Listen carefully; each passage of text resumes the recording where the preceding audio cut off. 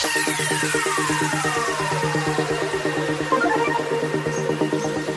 guys welcome to Yash blogs और आज मैं आ चुका हूँ स्ट्रॉबेरी गार्डन आप देख सकते हैं यहाँ पर पूरा स्ट्रॉबेरीज है।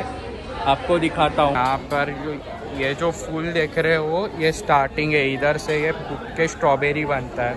और ये देखो ये कच्चा स्ट्रॉबेरी है। और ये प्लांट सात से आठ इंच बड़ा होता है और इसको फूलने के लिए दो महीना लगता है। तो छः महीने में दो से डेढ़ किलो स्ट्रॉबेरी पैदा कर सकता है। ये देखो, ये स्ट्रॉबेरी बन रहा है, आप देखिए।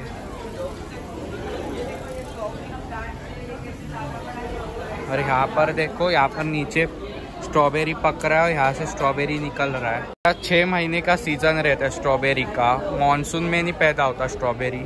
यहाँ पर देखो, यहाँ पे बड़े बड़े स्ट्रॉबेरी के खदान है।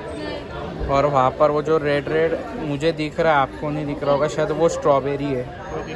पार्क है और यहाँ पर आप स्ट्रॉबेरी का प्रोडक्ट आप ले सकते हो, यहाँ पर सब प्रोडक्ट मिलता है। स्ट्रॉबेरी का खाने पीने के लिए। जैसे मैंने ये मलबेरी जूस लिया है टेस्ट करके देखता हूँ। दिख रहा अच्छा है।